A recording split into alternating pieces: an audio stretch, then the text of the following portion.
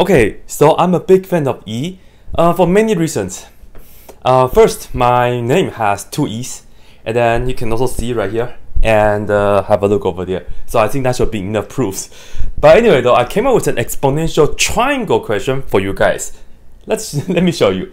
Alright, so I'm going to just look at this right triangle, and I was just wondering if it's possible for us to find x value so that here we have e to the x, and then here we have a little bit longer, so let's make this e to the 2x, and let's make this even longer than that, so e to the 3x.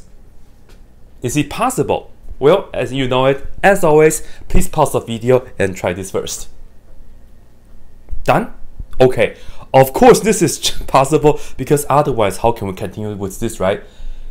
Because this is a right triangle, so of course we'll use the Pythagorean theorem. So let's just look at the sum of these two squares and then make that equal to the square of this, right? So we will look at e to the x and we square that and then we add this square and then we are going to make this equal to that which is e to the 3x and then we will have to square that.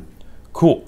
So now we look at this and we can just simplify this, right? So for example, this right here is e to the 2x and then multiply the powers of e to the 4x and then this is equal to e to the 6x.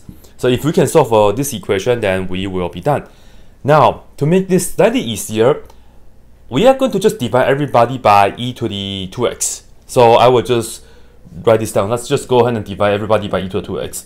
And we can do this without any worry because e to the 2x, this right here is never equal to 0. So we can totally divide. So we can just look at the equation as e to the, well, in Chinese it's also e, but this right here is actually e, I mean 1, plus this right here is e to the 2x, and then this right here is equal to e to the 4x.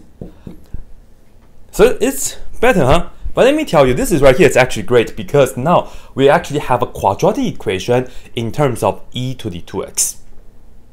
Because this right here, it's the same as saying e to the 2x and then square. And this right here is of course e to the 2x and then of course over there we have 1.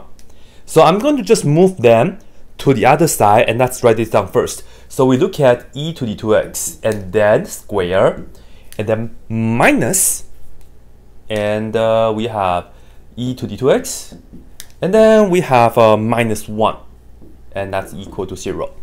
So right here, let's just go ahead and use the quadratic formula, but we will have to make this input right here, e to the 2x.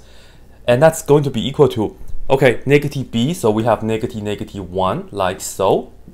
And then plus or minus square root of negative b, so it's negative 1, and then square minus 4 times a is 1, and then c is negative 1 like this, and then all divided by 2 times 1, 2 times 8, yeah. Cool. And now we will just work this out. Have a look. This is e to the 2x. And that's equal to 1 plus 1 minus. This is 1 and then plus 4. So it's 5 in the square root. And then all over 2. Alright. e to the 2x, in fact, it's always positive. So there's no way for us to be using this negative right here, like 1 minus square root of 5, which is bigger than 1, so we will have to get rid of that. No complex triangle here, okay? So, just the real values. So in fact, we have e to the 2x, oh man, I should put on my golden uh, ratio t-shirt, but no, let's just look at e. e to the 2x is equal to this, so in fact, we can just take the natural log on both sides, right? Because we have e to the 2x equals, let's put this as the golden ratio, why not? Right, because notice this is the golden ratio. Honorable mention, this is approximately 1.618.